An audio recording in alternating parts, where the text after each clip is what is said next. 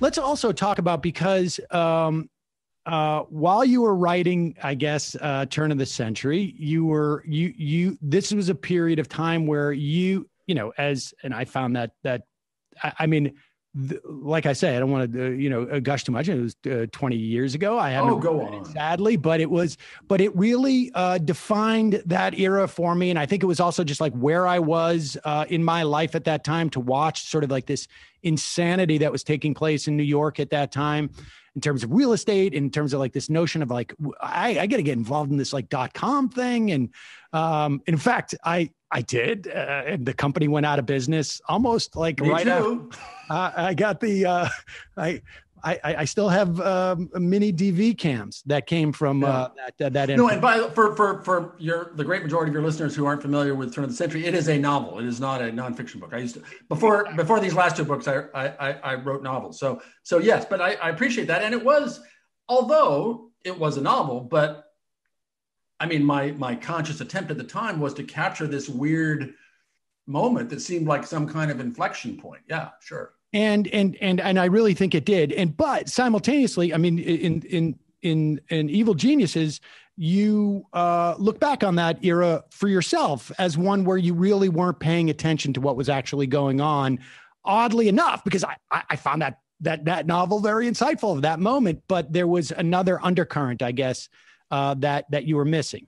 Talk about yeah, that. I was paying attention certainly to the culture and the culture of money and idiots who would go around saying, "We're creating wealth for everyone. We're creating wealth for everyone." I mean, it, it was satirical and it made fun of that stuff, but it was a no- a it was a novel and a novel that you know makes a big case about systemic inequality and insecurity is not really a novel probably. I've never seen it but you know you know what i'm saying? So so that isn't the the the the the, the uh, mission or purpose of fiction so much. However uh, but but to your point and i you know repeatedly mea culpa in this in evil geniuses to say i wasn't really paying close enough attention or caring enough about oh, there, there's a rust belt now. Oh, manufacturing workers are now losing their jobs. Eh, mm, too bad. That's that's too bad. It'll work itself out somehow because it always works itself out, right?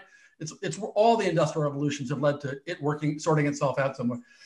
So yeah, yeah, I would say that my my relative affluence and, and relative success uh, led me to be uh, uh, inured to and and sort of not caring enough about this systemic change. And, you know, also not not to not to to to, to you know defend myself either, but but it, until the 90s, I, at least, I should have been paying more attention by the 90s. But so much of what was done was not instant. You know, they did right. not cancel, so they did not repeal Social Security and Medicare. They did not repeal the EPA. They did not get rid of minimum wage laws. They did all these clever, it was an undermining, it was a slow motion change from the New Deal to the raw deal, as I call it.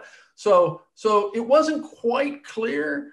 The, the, the cultural change was the fact that a, a, a, freak like Donald Trump could be a respected, famous person in the 1980s and 1990s was clearly, you know, he was a guy who couldn't have existed in, in the 1970s or before. You know, this ostentatious bully. Oh, yeah, we love that.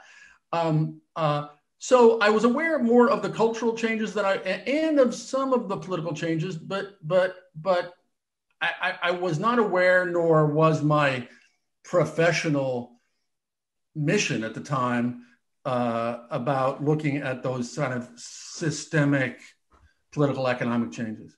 When did when did this happen? It was in many respects this is a um, uh, this is a almost I guess a story of radicalization. Um, uh, when did when like when was the moment uh, for you?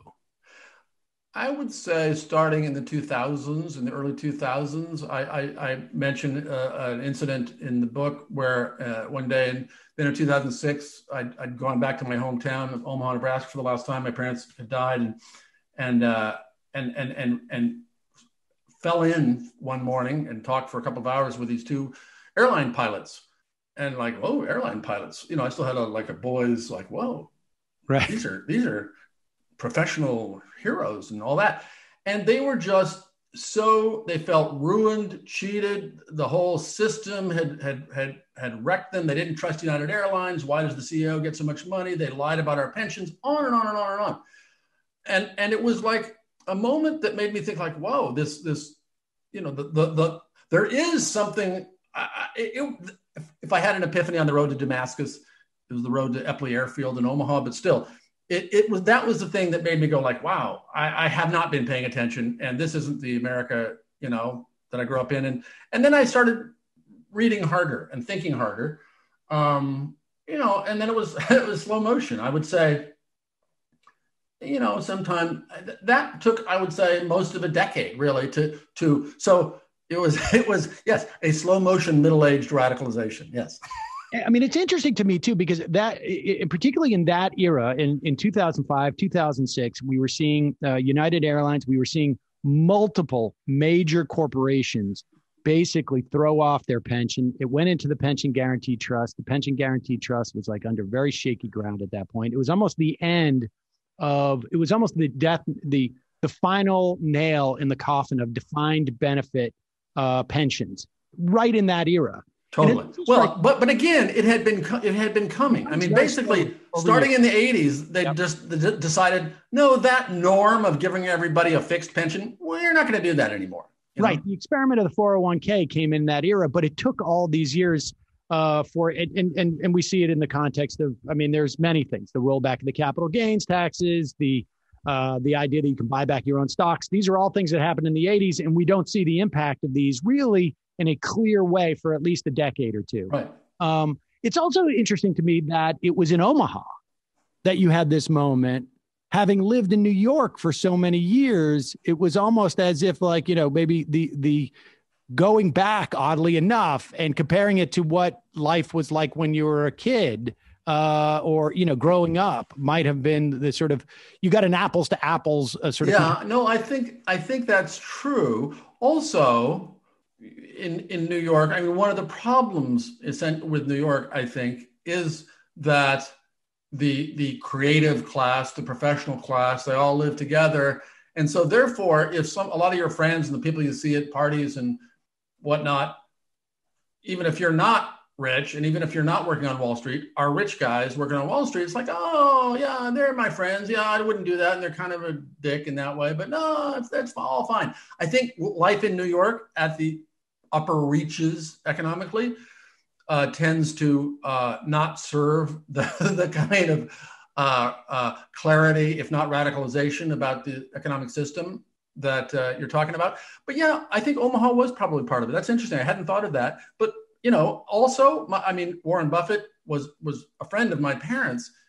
Didn't make him rich, but he was a friend of theirs. And and so, actually, that same trip to Omaha I, I went and saw for the first time at this wonderful little bookshop in the airport there this shrine to Warren Buffett and all of his books and all of his essentially, I mean, uh, created by this really smart guy who ran the bookstore.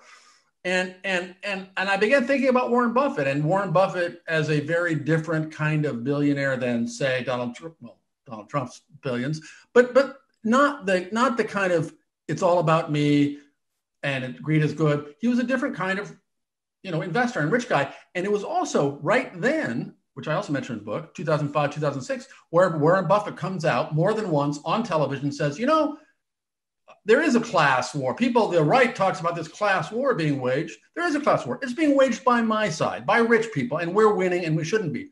So, yeah, those all, all of those things together uh, were, were part of my uh, uh, yeah radicalization moment. You know, you know, uh, uh, or if, if that's what we want to call it. Yeah. And I will say that's also a defense as to why I have no friends uh, anywhere, and so I am not uh, susceptible to any of those. Uh, the, but that's, that's, I want to talk wise. about that keeps you hygienic. Exactly, very very hygienic. A little bit lonely, but uh, you, you work through that.